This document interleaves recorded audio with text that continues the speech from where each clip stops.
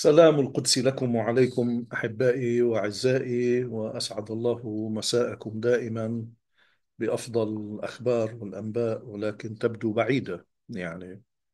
أه، الحقيقة عم بتطلع أنا بقرأ يعني دائما ال- الأسئلة والتعليقات والر- والرسائل اللي بتجيني. أه، بقدر أحكي بصراحة وبتمنى ما حدا يزعل مني. يعني تتقبلوني أنا محب لكم جميعا وإلا ما عم كرس وقت لنحكي سوا. مؤلم آه، أن يكون مستوى وعينا للأحداث كأمة عم بحكي كناس معنيين بقضايانا بهمومنا العامة لأنه ما في شيء بيجمعنا هون شخصي هون مشتركنا هو العام. مؤلم أن يكون مستوى وعينا للعام آه، بعده محكوم بالعصبيات. عم بحكي بصراحة. آه، شو يعني بالعصبيات؟ يعني واحد همه يقول إنه آه، إيران باعت. ليه؟ بيطلع ال- ال- الجهة اللي هو يدافع عنها مش مغلط. وحدا تاني همه يقول روسيا تاجرت فينا. بيطلع كل محور المقاومة حرام ضحية. يعني ضحكوا عليه الروس وباعوه. حدا بده إنه وقف إطلاق النار اللي عمله حزب الله كان آه، كارثيا وقاتلا وغبيا و وبي- وبي- ويبلش ي- مثل ما بيقولوا يزت حكي كأنه هو مونتجومري يعني وإنه كان على الجبهات وفي بجسمه عشرين رصاصة يعني بوقت سيد المقاومة شهيد. حدا بيطلع معه إنه آه لا آه طوفان أصلا كان مؤامرة يعني إنه يحيى السنوار موساد استشهد الزلمة. إنه هذا منظمينه لما كان بالسجن طلع عمل هاي وفوت المحور بالحيط وأخذوا للدمار.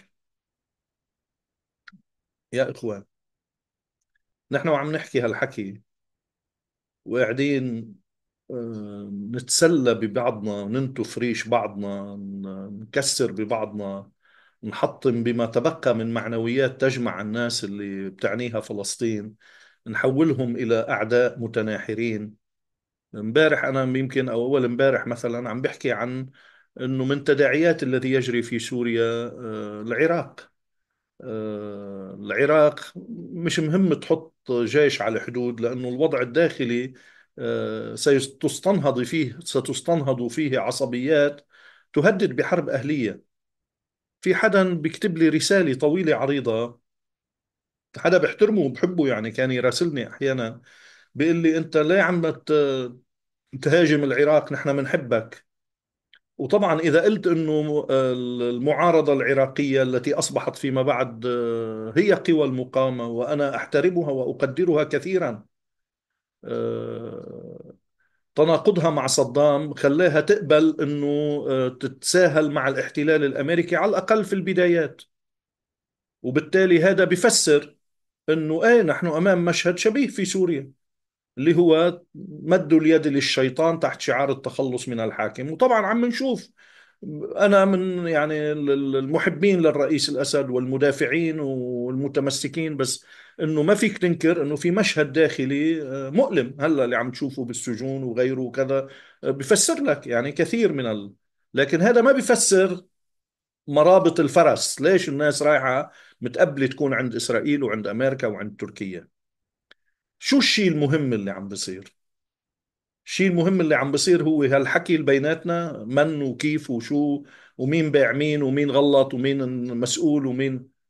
الشيء المهم اللي عم بصير هو اللي عم بيقوله نتنياهو. هذا الشيء المهم. الشيء المهم اللي عم بصير هو اللي عم تعمله إسرائيل. نسينا إسرائيل. ما حدا منتبه شو عم تعمل إسرائيل. ما حدا منتبه إنه في رابح كبير كبير كبير وفي مجموعة خاسرين قاعدين متفضين لبعض. مجموعة خاسرين شغلتهم ي- يكبوا على بعض كرة النار. مجموعة خاسرين آه، شو يعني سوريا؟ أنتوا عارفين شو يعني سوريا؟ أنتوا عارفين ماذا يعني أن سوريا الدولة؟ ما أنسوا مين رئيسها؟ سوريا الجيش العربي الوحيد اللي بقي محافظ على هيكليته وعقيدته المقاتلة لإسرائيل. الآن يسحب من الخدمة يدمر كله. سفن حربية طائرات صواريخ مدرعات معسكرات مصانع آه، بنى كله.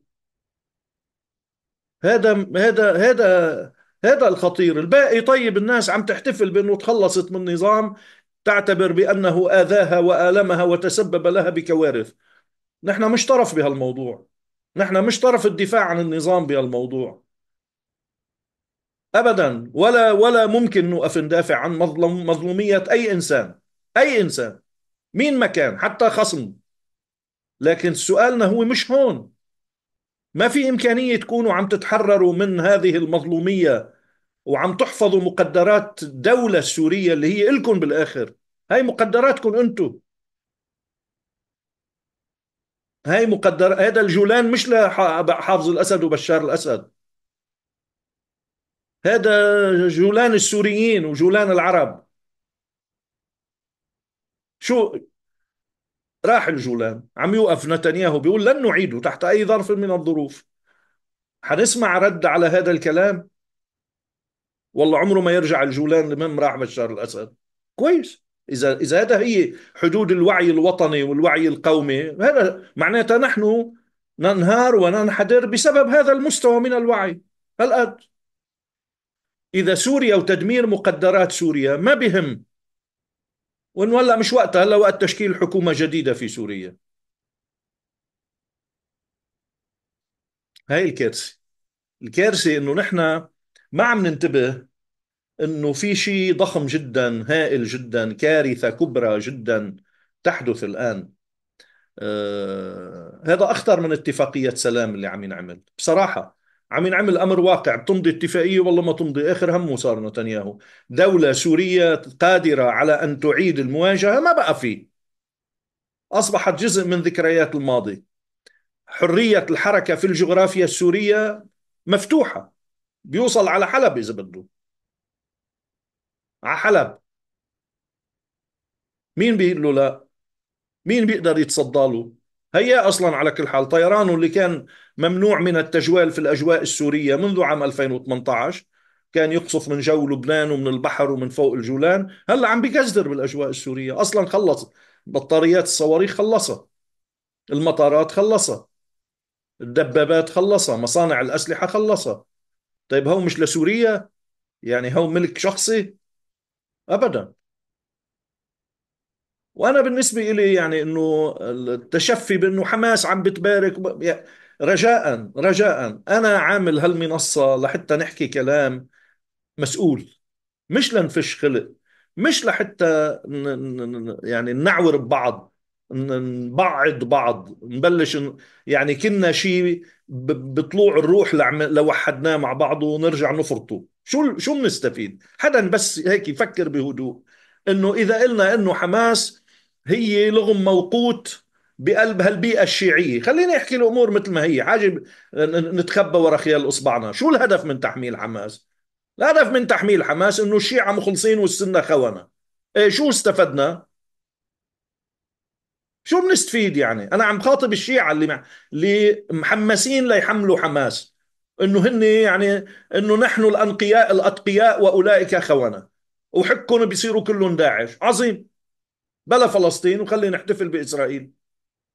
وخليها تأخذ الشام وتوسع هذه إسرائيل الكبرى جديرة بالحياة إذا الإمام الخميني مات وغصته كلها كيف يقدر يعمل وحدة إسلامية؟ مين مع مين تعمل وحدة إسلامية؟ يعني وحدة الشيعة مع من؟ مع السنة. ومين بالسنة؟ معيار المقاومة معيار من يحمل راية آه، فلسطين.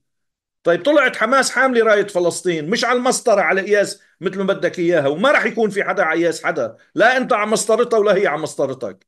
أنت مسطرتك أطول مسطرتها أقصر مسطرتك أعرض مسطرتها أضيق. مش مهم. المهم الوجهة الوحدة هي شو في مقياس للمقاومة أكثر من الاستشهاد؟ حماس ما يكون قادتها شهداء افترقنا بمرحلة الحرب على سوريا وافتراء منطقي وطبيعي لأنه مسألة تثير الالتباسات.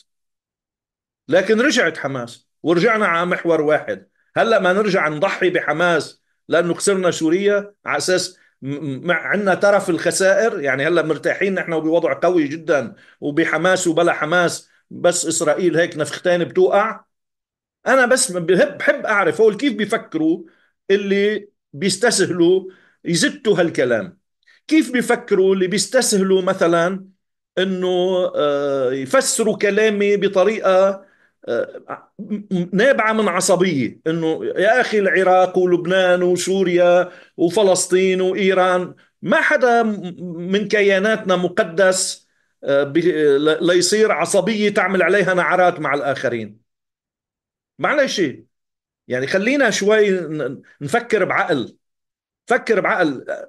ما المعارضة السورية اللي استلمت سلطة خسرانة. الرئيس بشار الأسد وحزب البعث خسران. ليه؟ لأن إسرائيل رابحة. محل ما بتربح إسرائيل محل ما حدا بيربح. إسرائيل لا شركاء معها بالربح. مش التركي؟ مش التركي هلأ مفكر مبسوط بالربح؟ ما ربحان خسران. ما في محل بالمنطقة. إذا مصدق هو في محل زعامة تتقاسمها إسرائيل, إسرائيل مع أحد موهوم موهوم. بكرة بيطيحوا لأردوغان. وبيشقفوا تركيا. وهي الدولة الكردية ستكون هي المستقبل الجديد في المنطقة. ما جديد اللي مصدقين إنه رح ينسمح لهم يبنوا دولة موحدة في سوريا والعثمانية الجديدة. العثمانية الجديدة هي جسر عبور هي مطية. في مشروع واحد بالمنطقة اسمه المشروع الإسرائيلي. كل الغرب مصطف وراه وإذا حدا مبسوط مفكر إنه آه طيب يا أخي ماشي. أنا ما عندي مانع تقول تخلصنا من الأسد. ماشي. بس ابقى منتبه إنه في مشروع إسرائيلي. ابقى منتبه إنه ما في عندك مستقبل بالمنطقة على قاعدة التعايش مع إسرائيل. شو بهمني هلأ كل النقاش بإنه لماذا حدث ما حدث؟ إذا ما بده يكون هو مدخل لنستفيد مشان بكرة. لأنه هاي المعركة ما خلصت. هاي المعركة إمتى بتعرفوا إمتى بتخلص لما بتنعمل إسرائيل الكبرى. لما بتصير إسرائيل على حدود إيران دمرت المقدرات الإيرانية وأخذت الفرات. ولما بتصير إسرائيل أخذت النيل ودمرت المقدرات العربية. ولما بتصير على حدود الكعبة والمدينة هذا هو المشروع الإسرائيلي. معلش هذا شو بدي قال السفير الإيراني؟ مرحبا يعني كلام آه، جميل وحلو وعظيم بس واقع الحال هذا هو الحال الآن. الحال نحن الآن العقدة الصلبة اللي اسمها دولة دولة دولة. بتعرف شو يعني مقدرات دولة؟ تعرفوا إنه التطور اللي كان بألغيته الدولة السورية في معامل الدفاع ومصانعها؟ عم بحكي على الشباب السوريين. نسولي الرئيس بشار الأسد. عم بحكي على هول المهندسين والعقول والضباط الكبار اللي ضلت إسرائيل وأمريكا يلاحقوا العقول العراقية ويقتلوهم بالشوارع بعد احتلال العراق. والآن سيفعلون الشيء نفسه في سوريا. انهار الجيش السوري مثل ما انهار الجيش العراقي. إلي عتب كبير نقاش كبير بس مش وقته إنه أقول يمكن كان أفضل يقعد الرئيس الأسد مع أردوغان. وما نوصل لهون كنا حفظنا على القليل مقدرات الدولة السورية. بس عم تعاتب مين؟ عم تعاتب أنت رئيس تنحى يعني خسر السلطة آه، حمى وحدة بلده بالحد الأدنى الممكن عندما شعر بأنه غير قادر على القتال. يمكن ما كان عنده تقدير أنه الجيش مش حي... مش حيلبيه بهذا الشكل. وما لبى الجيش بسبب شو ما بنعرف بعد حقيقة. بس إنه هذا شو إذا ما بنعرف ما بفيدنا النقاش. بس أنا بقول إنه لو المعطيات الموجودة عند الرئيس من قصة حلب إنه هذا الجيش ما قادر على القتال بغض النظر عن الأسباب الذهاب إلى إلى تشوية بأي ثمن يحفظ الدولة لأنه هلأ خلص ما بقى في دولة. هلأ ما بقى في دولة. هلا انه آه، شرط السماح بقيام دولة في سوريا. هلا عم بفاوضوهم على منشيل اسمكم عن الإرهاب مقابل مقابل شو؟ مقابل دولة منزوعة السلاح. فيها جيش أقرب للشرطة. حدود تسليحه. إسرائيل بدها تراقبه. مثل ما عم بيحاولوا يعملوا هلا بالنسبة لحزب الله بلبنان. وأنا بقول لكم لهالسبب الإسرائيلي بيعمل اتفاق هلا مع غزة. لأنه ما عادت بالنسبة له هي القضية. هو عمل ربح. ما فوق الاستراتيجي مش استراتيجي ما فوق الاستراتيجي. اللي اسمه التخلص من قلب محور المقاومة. في محور مقاومة الآن بدون سوريا كيف؟ ما إذا الناس نزلت تسلخ جلد بعضها هلأ بعد ما يعني وننطر المزيد من الخسائر لأنه الإسرائيلي ما حيوقف. الإسرائيلي هون ما حيوقف. الإسرائيلي هلأ بده يهضم انتصار سوريا يصفي كل مقدرات الدولة السورية. ونحن بعدنا عم نحكي واحد بيقول السجون بسوريا واحد بيقول مين باع مين واحد بيقول روسيا باعتنا واحد بيقول إيران باعت واحد بيقول كذا هو مكمل. هو مكمل. تدمير وتوسع وفرض أمر واقع واتفاقيات مع الدول. آه، وبيبلش بكرة بناء ودعم ومؤازرة بيعمل دولة درزية بالجنوب. مش معناتها أنا عم سيء للدروز. دروز وطنيين وعروبيين بس عمول هو شو مشروعه. بيستعمل مجموعة درزية بالقوة بيعلنهم هم الدولة. ومنها بيطلع على الحدود السورية العراقية التنف اللي هو الأمريكان بيوصل على شرق الفرات كوريدور. وبصير عنده حليفين وقاعد النص السوري اللي هو 80% من سوريا أو 70% أو 60% من سوريا بين هاتين ال... بين فكي الكماشة. في الجنوب دولة تابعة مثل دولة لحد وبالشمال دولة حليفة. وهي الدولة الحليفة رح تبلش تدق باب تركيا والعراق. وإيران طبعا ما حدا بمنأى أنا والله هيك بقرأ الأشياء. يعني أنا لا تواخذوني اللي موجتهم في القراءة.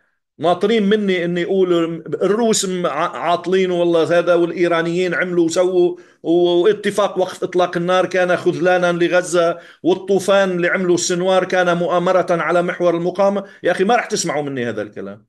ما راح تسمعوا مني هذا الحكي.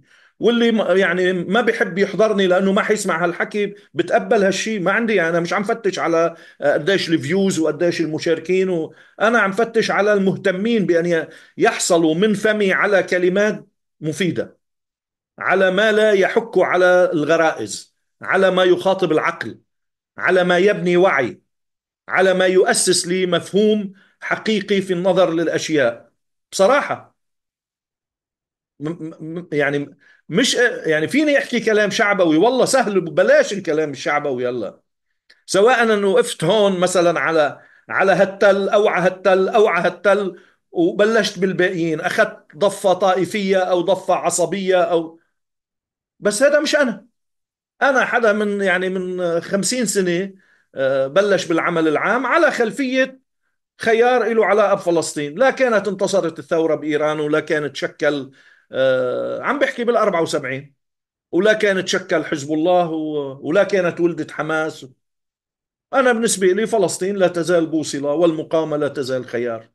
وعلى هالأساس أنا أحلل المنطقة وأفهمها. أنا أمريكا يعني آه، صادفت مرة توماس فريدمان اللي اسمه معروف يعني كاتب المقال الافتتاحي بنيويورك تايمز. اجى على بيروت عم بيوقع كتابه هذا آه، سيارة ال Lexus آه، وشجرة الزيتون.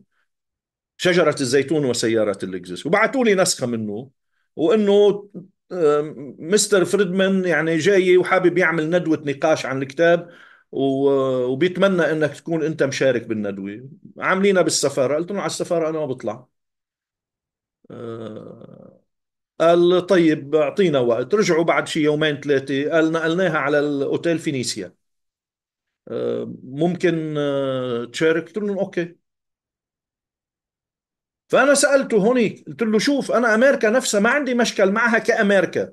حتى مشروع الهيمنة وفهمان مشروع الهيمنة ورؤية أمريكا التسلطية والاستكبارية وال... لكن أنا مشكلتي الجوهرية كعربي ومسلم مع أمريكا هو إسرائيل. وطالما أمريكا بتطلع بعيون أمريكية بكل العالم بس توصل على منطقتنا بتصير تطلع بعيون إسرائيلية فما في إمكانية لنكون نحن وأمريكا على توافق. فأنا بالنسبة لي هاي هي البوصلة. أنا هكذا أفكر. ولذلك يعني القضية هي هون. قبل إيران هذا الحكي خياري وقبل حزب الله هذا خياري وقبل حماس هذا خياري. وأنا فرحت بمحور المقاومة لأنه عبر عن تجميع لإمكانات ومقدرات وبناء حزبي وتنظيمي وعسكري في مواجهة إسرائيل مش شيء تاني. يعني وإنه جامع عابر آه، عقائد وأديان ومذاهب. هذه هذه بتفرح لأنه هذا بيعني إنه في حالة نهوض على مستوى الأمة يؤسس لها هذا المحور. وطبعا المحور هو مش جغرافيا متصلة بالضرورة. يعني هو هذا التكوين. لذلك أنا لن أشارك بهدمه. يعني البعد الفكري في محور المقاومة اللي هو تلاقي حماس وحزب الله وأنصار الله والحشد الشعبي والمقاومة العراقية وإيران آه، وكل البنى النظيفة في سوريا التي لن لن يطول آه، الزمن قبل أن تعود لتحضر وإن شاء الله بتكون مشتركة إسلامية قومية يسارية. لأنه رأي سوريا الدولة إعادة بناء دولة مواجهة لدولة مواجهة هذا ما عاد يصير. هذا ما عادش يصير. وبالتالي اللي ممكن يصير الآن أي الناس بتشتغل على بناء مقاومة بسوريا. لأنه الناس تترك الجولان وتسلم بانه إسرائيلي في جزء من الشعب السوري ما حيقبل هالشيء مثل ما وقت اللي صار الاحتلال بلبنان. الدولة اللبنانية كانت ماشيه وعاملة اتفاق. وفي جزء من الشعب اللبناني كان ماشي وعم بزقف للإسرائيلي. وفي جزء آخر حتى ببيئته ما كان له تأثير. يعني حتى البيئة الشيعية ما كانت جاهزة للمقاومة من البدايات. هي تجهزت للمقاومة.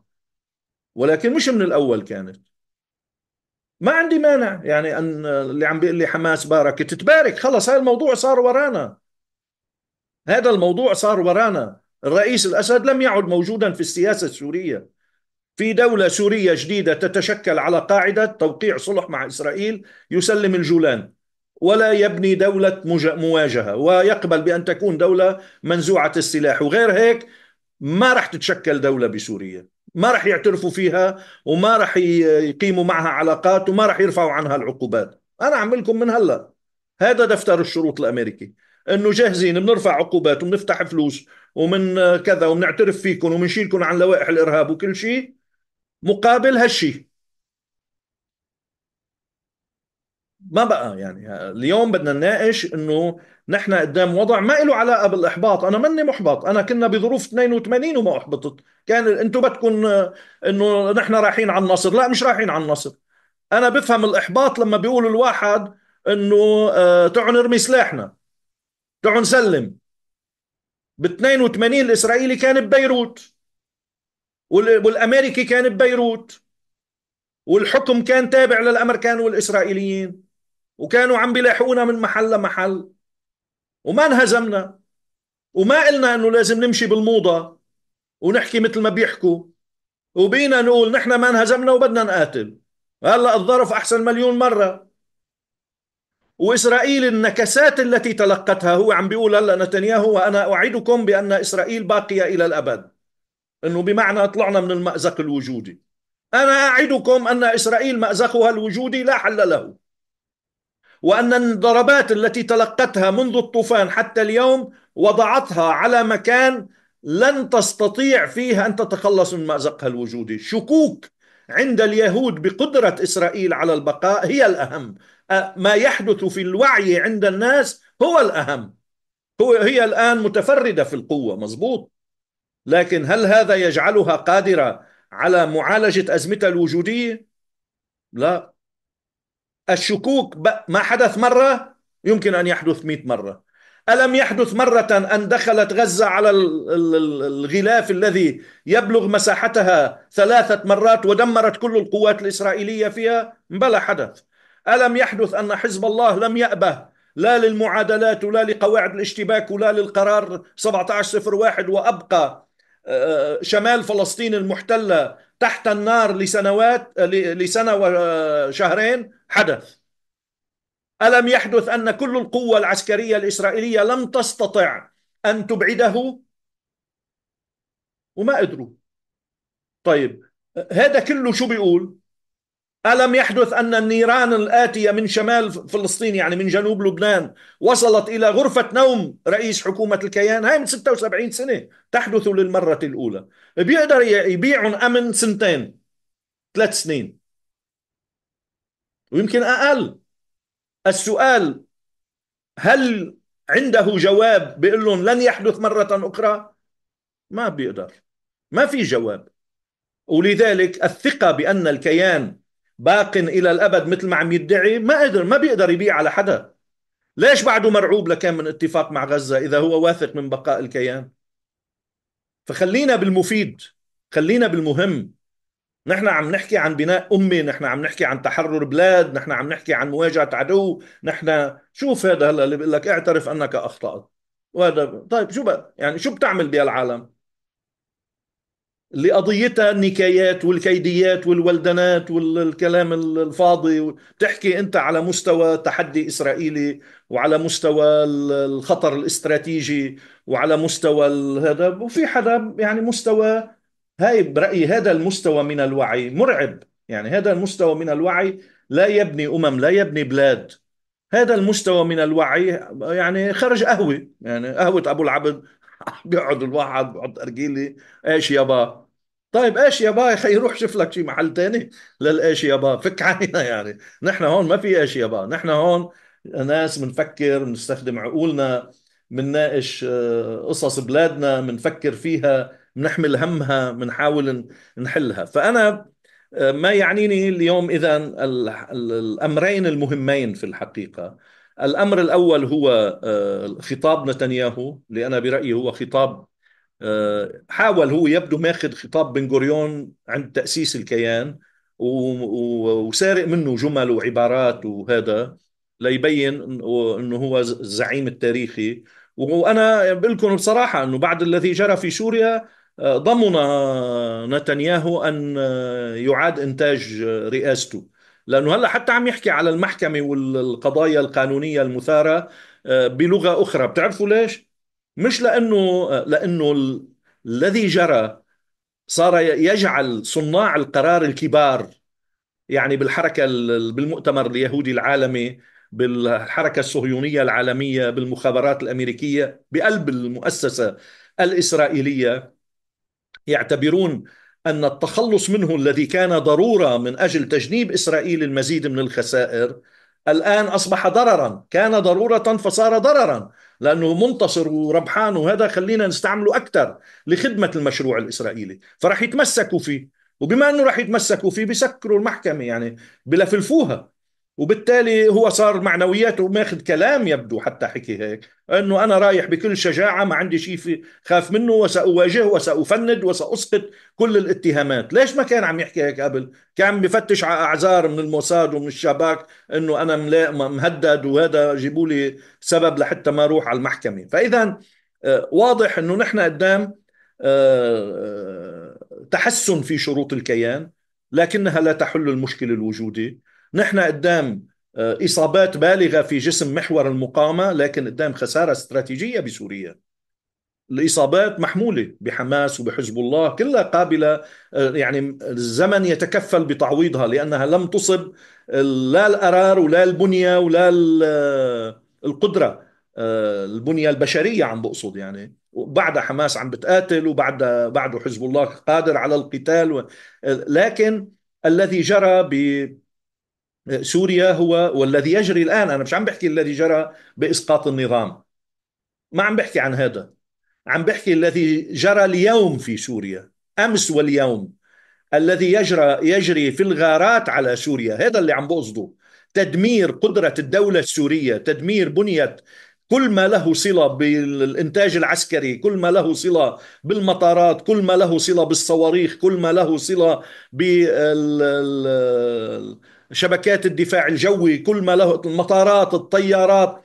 وأنا بستغرب في واحد يعني مثلا آه، سوري مبسوط بالموضوع بعدهم وبيطلع فيهم أخبار يعني إنه صار في آه، دمروا السفن الحربية بال آه، إنه هو هو لمين؟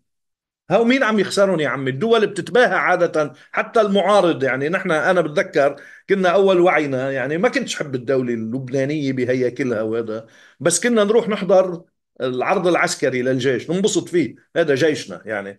فنشوف إنه عندنا كم طيارة ميراج وعندنا بعد شوي نصدق إنه إحنا يمكن أقوى من أمريكا. والله كنا سبعة ثمان سنين أعمارنا يعني. فلما نشوف الدبابات ونشوف هذا في حدا بينبسط إنه قدرات دولته العسكرية تدمر. وما حاسس إنه هذا الأمر خسارة عليه؟ أمر غريب عجيب يعني. أه على كل حال أي عربي بيعرف إنه في محل واحد على مستوى الأمة العربية ويمكن يكون بالجزائر أيضا في جيش عقائدي قوي وقادر. آه، وفي سوريا. سوريا بما أن على حدود فلسطين بصير له قيمة استراتيجية أكبر. وأنه كيف هالدولة بنت تحت العين الإسرائيلية وعبرت سنوات وسنوات وسنوات وضحت وتحملت أثمان والشعب السوري رفع أثمان ما في شك أنه حتى تحمل آه، عذاباته مع النظام يا أخي. ماشي. حصيلة كل هذا كانت هالمقدرات وكانت حماية هذه المقدرات هي مسؤولية سورية عامة. راح النظام وراح رئيس النظام وهذا بس بقي هول. وبقي هول اليوم بكل أسف أنه يجري تدمير تحت أعين السوريين. أنا بدي أقول لكل اللي معتقدين أنه فيهم يفرحوا بهذا التمدد الإسرائيلي أو يتجاهلوا معمول يفرحوا فيه. آه هذا التمدد الإسرائيلي بلا سقوف. بصراحة هذا التمدد الإسرائيلي آه على جدول أعماله أنه يتخلص من النظام الأردني وإنه يهجر فلسطينية الضفة ويرتاح. تصير فلسطين من البحر إلى النهر خالصة من اليهود. ما فيها إلا يهود. بيحمل غزة انتبهوا. وممكن يحملوا الداخل 48 غزة لأنه بينفصل عنها وبيقول هاي الدولة الفلسطينية. روحوا اعملوا دولة بغزة. بس بالضفة ما في مستعد يعمل هذه المقايضة. ضفة وقدس ما عنده مانع. ويتحمل هالكمية من الفلسطينيين الموجودة بأرض 48 اللي صار له 70 سنة بيشتغل معها وقادر يديرها. يعني قادر وإذا انتهت قضية فلسطين كقضية وأخرج الفلسطينيون من الضفة الغربية هي لحالها هذه المجموعات العربية الفلسطينية الأصيلة النظيفة الطيبة المخلصة يعني آه، ستكسر عزائمها. وبالتالي مشروعه كبير. ضفة أردن. طيب شو شو بدهم يعملوا الأردنيين؟ هذا سؤال شو رح يعملوا؟ بالضفة شو رح يعملوا الفلسطينيين؟ انسوا مين مع بشار ومين ضد بشار. احكوا بهول. ومبين من الطريقة التي يتصرف فيها في سوريا أنه حدد ساعة صفر وأقلع بالمشروع. هون بدي يعني هاي الأردن. طيب بعد سوريا بده يهندس الديموغرافيا والجغرافيا السورية. بدولة في الجنوب ودولة بالشمال وهو عم بيقولون امبارح حكاهم يعني جدعون ساعر خصوصية درزية وخصوصية كردية.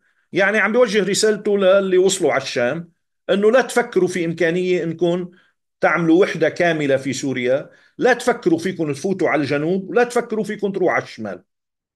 فيكم تعملوا اتفاق مع الجنوب تعترفوا بخصوصية وتكون بعهدتنا وفيكم تروحوا على الشمال وتعملوا اتفاق ويكون بعهدة الأمريكان. والأمريكان اللي كانوا ناويين يطلعوا من سوريا وهي التصريحات موجودة لترامب. هلأ ما في غير قوة الله بتطلعون ليش بدهم يطلعوا؟ هلأ بدهم يكبروا القواعد بالشمال. وهي الأيام جاية. هاي ال 500 وال 600 وال 700 عسكري راح يصيروا 5000 و6000 و7000 وبالتالي في مشهد جديد في المنطقة. مشهد لا يفرح لكنه يحتاج إلى مستوى أعلى من الوعي وإلى مستوى أعلى في آه، الاستقواء على العصبيات في الخروج من الولدنات والسخافات وكب الكرات على بعض وكب الحرام على بعض واتهام بعض والإساءة لبعض والشتائم لبعض. في عدو متربص فينا كلنا وهذا العدو ما بن... ما بيتواجه بأنه نقعد نشق في بعضنا. هذا العدو ما بيتواجه إلا بالوحدة إلا بلغه الوحدة. والقدرة ولغة الوحدة ما بتتم بالتطابق إنه بدنا نكون بنفكر مثل بعضنا. بتتم إنه نحترم إنه نحن مختلفين. ما عندنا قراءة واحدة لكن مؤمنين بأن هذا عدوك وعدوي في آن واحد. المشكلة إنه هاي هي المشكلة. إنه أنا من أجل عداوتي معك مستعد غض النظر عن عداوتي مع إسرائيل أو عما مش عداوتي مع إسرائيل. عما تدبره إسرائيل لبلدي. ما عندي مانع. الكيدية بالعقل العربي أكبر من القضية. وافحصوا بتلاقوا أنه هذا الحكي صحيح أنه الكيدية أعلى مرتبة من القضية. هذه هي الحقيقة. وبالتالي بدنا نوصل لمرحلة تصير القومية القضية أعلى من الكيدية بس مش طالبين شيء تاني. أنه نعترف أنه نحن بيئات مختلفة مذاهب مختلفة أديان أوطان آه، طريقة تفكير آه، أمزجة ثقافية. لكن عندنا جامع مشترك إنه هاي المنطقة لتقدر تعيش بأمان واستقرار وتساكن لازم الصهيوني يكون فيها إذا ما نزال ضعيف. لأنه الصهيوني القوي ما, ما رح يرحم حدا. وأنا بدي أقول للأتراك وللروس بصراحة لأنه هن قوتين كبيرتين. يمكن الآن عندهم يعني نوع الروسي عنده قدر من الشعور بأنه آه، حصل على بعض الأمان. أنا برأيي الروسي لم يحصل على أمان. آه، روسيا بخسارة سوريا صار سقفها تعمل اتفاق مشرف بأوكرانيا وترجع دولة إقليمية. ما فيها تكون دولة عالمية بدون سوريا. ما فيها. وتركيا الموهومة الآن بأنه هي تضخمت بحجم مصالحها وحجم حضورها وهي دولة السنة الأولى في المنطقة. عن جد هيك؟ هاي الصورة ستسمح إسرائيل بأن يكون في دولة قوية في المنطقة؟ بد مضطرة بدها تاخذ إذنها قبل ما تعمل شيء؟ أول جواب جايهم للأكراد للأتراك هو المسألة الكردية. وإذا مفكرين فيهم يتفقوا مع الإسرائيلي على موضوع إزالة الكيان الكردي ودمج الأكراد في الدولة السورية موهومين. موهومين لأنه المشروع الإسرائيلي أصلا مش مهم الولاء السياسي للدول. مصر كم ديفيد كلها ما بتهمهم. بهمهم مصر يشقفوها. يصير فيها كيان قبطي وكيان مسلم ويتناحروا ويتقاتلوا واثنين حلفاء لإسرائيل. هذا اللي بهمهم. وبهمهم العراق يصير هيك.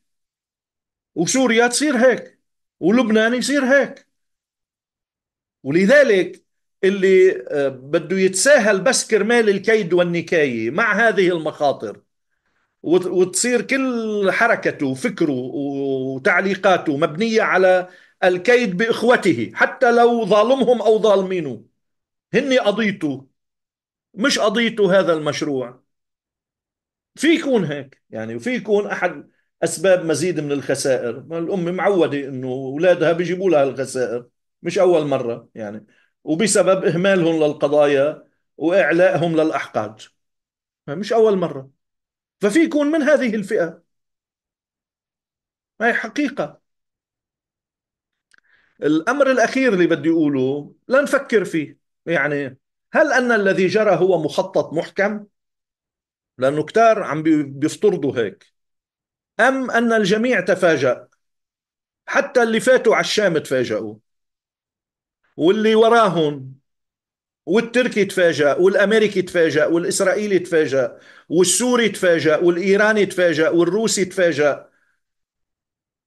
لأنه في كتار طالع معهم أنه هاي الخطة المحكمة ولا أنا رأيي لم تكن خطة محكمة. أنا رأيي أن الذي جرى في حلب فتح العين وخلق ديناميكية. صارت نجرب حما. عندها بين إنه لا في إمكانية. هون ركب المشروع. مش صحيح إنه كان من الأول في تصور كامل كيف نستطيع السيطرة على سوريا ومعمل له مهندس ومظبط وهلأ إنه كانت محسوبة وكانت مدروسة. قوات كافية لحلب وحما وحمص والشام ما عندهم. المعركة كان هاي حدودها وإنه بتخلق مناخ تفاوضي. وأردوغان تتذكروا باللحظات الأولى إنه قلنا له تعا ما إجا املا بأن يأتيه قبولا عن طريق روسيا نقعد هون وبنحكي أصلا هني حلب ما كان الرهان هو على الريف الشمالي وإنه منأمن إدلب امنيا. هاي الحقيقة هيك وأنا واثق من اللي عم بحكيه. ويمكن الروس هون بشوي بسبب إنه كانوا عم يدعوا للرئيس الأسد إنه يقبل التفاوض مع التركي ومش قبلان إنه مش مانعين يمكن بعملية تكتيكية محدودة. ويمكن الرئيس الأسد لأنه الروس مش هذا ترك مجال أوسع. ما بعرف. حقيقة ما بعرف.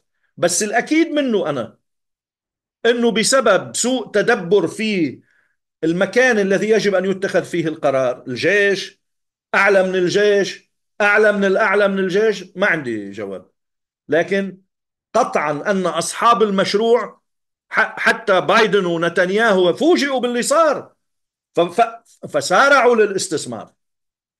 أنتم بتصدقوا مثلا إنه دول الخليج بتوافق على يصير هاي الجماعات تسلم سوريا؟ ما بتوافق. بس ما عادش لها كلمة أصلا. خلص فلت القصة ومشيت.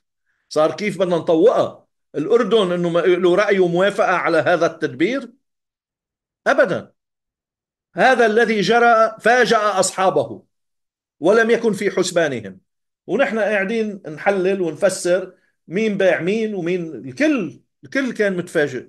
وأنا عشان هيك قلت إنه يمكن أنا بهالمجال بقول لو إذا الرئيس الأسد ما بعرف إذا معطياته كانت بتقول إنه الجيش ليس جاهزا للقتال وليس بوضعية القدرة على القتال يمكن كان متفائل إنه الجيش لا مجهز ومحضر أو كان عم ينحط بأجواء إنه بس حما هلأ هلأ حلب بس حمص المعركة وفوجئ وقت معركة حمص بإنه الأوامر العسكرية هي انسحاب وعندها بلش.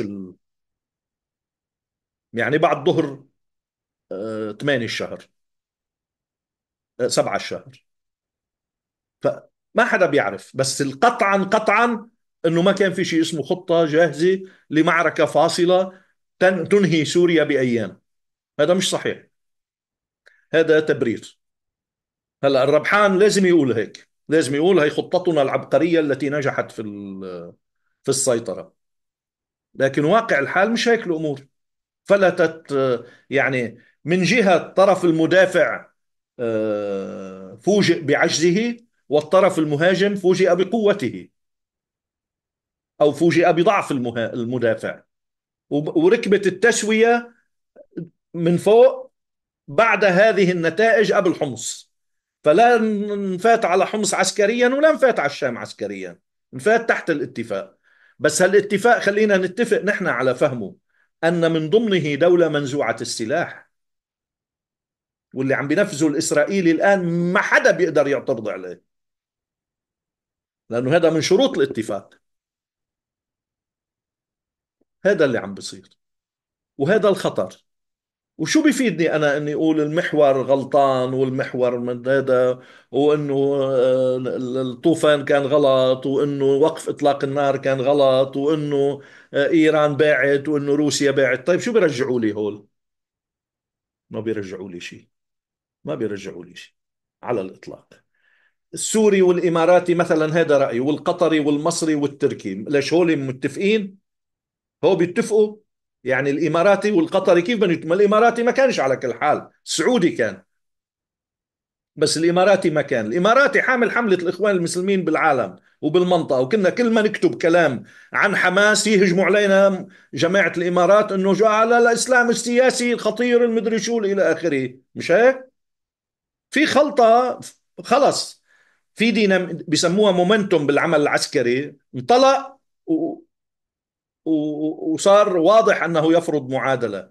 روسيا ما خسرت خسرت كثير. بعد في روسيا دولة عظمى بلا سوريا.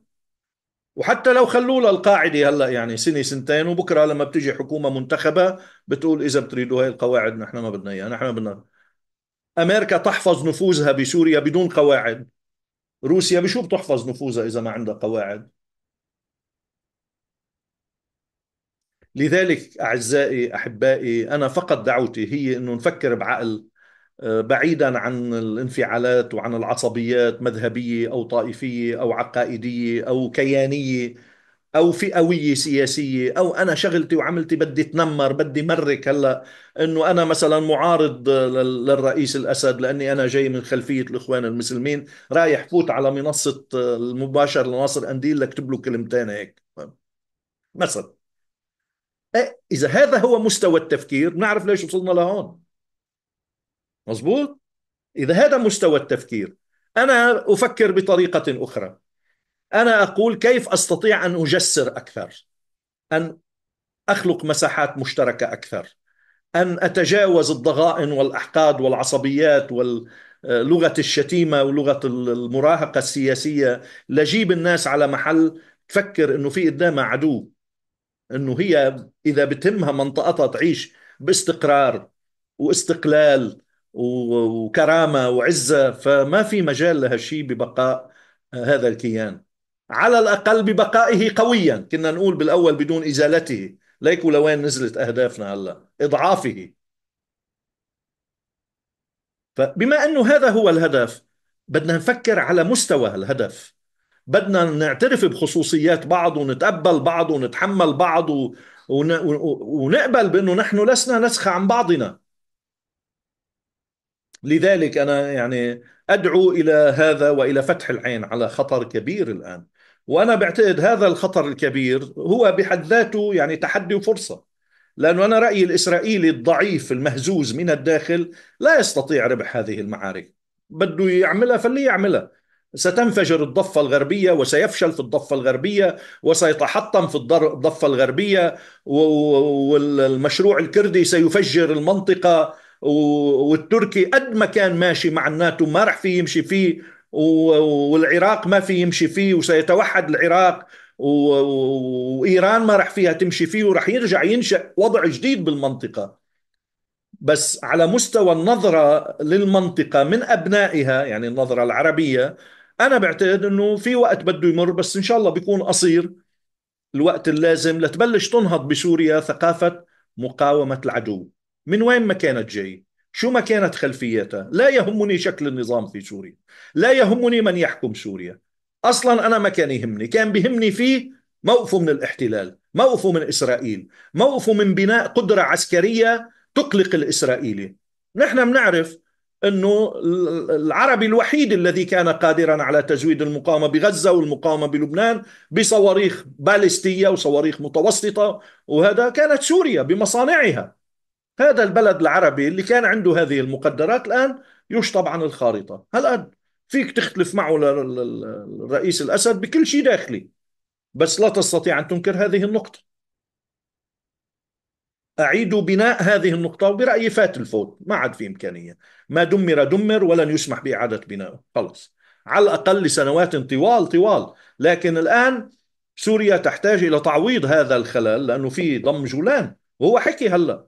حكي. قال نتنياهو إنه أنا الجولان ما في قوة بتشيلني منه. والضم نهائي. طيب هذا تحدي يعني كان ممكن تقول مثلا إذا بيعرض نتنياهو الانسحاب من الجولان مقابل اتفاق سلام شو بصير؟ إنه إذا قال أنا بترك الجولان مقابل اتفاق سلام راح يطلع تيار كبير بسوريا بيقول ولما لا؟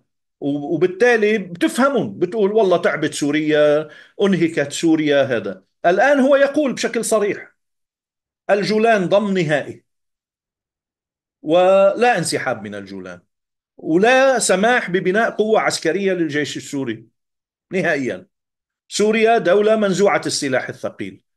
هاي المعادلات الكبرى اللي بتهم واللي بتعيش عقود وأزمان. وفي قلب هذه المعادلة هاي الأمور اللي بتستاهل الواحد أنه يوقف عندها وأنه يعني مش هلأ بيقدر الواحد أنه يتسلى ويتلهى و ويخترع يعني خبريات وحكايات محلية آنية آه، ظرفية. شاغلت له باله جاي على محل حتى يتنمر عليها. بس إنه هاي ما بتحل مشكل هاي لا تبني مجتمعات ولا تبني دول ولا تبني أمم ولا تدافع عن قضايا ولا تحمي أوطان. أنا يعني القضية التي تهمني هي هذه. ولذلك رغبت بأن أتحدث إليكم. وهذا ما عندي لأقوله لكم. ما عداها أنا لا لا أهتم له لا يعنيني ولن أشترك في النقاش حوله. بصراحة يعني وأنا أفهم السوري المعارض والسوري الموالي. الموالي اللي مقهور الآن وقضيته أنه نقول له هولي جماعة كذا وكذا وكذا وكذا وكذا. أنا ما رح أقول هالحكي يعني. لن أشتم الذين وصلوا الآن إلى الحكم. واللي ناطر من هوليك إنه قل له النظام كان كذا وكذا وكذا وكذا كمان ما راح يسمعون مني. أنا ما أعلمه أن النظام الراحل الذي سقط في سوريا كان نظاما بنى قدرات في وجه إسرائيل وساعد قوى المقاومة على امتلاك قدرات. ورفض أن يوقع ورفض أن يتنازل ورفض أن يطبع. واتهامات إنه موي والامارات ومدري شو أخذوا منه توقيع أخذوا منه تطبيع.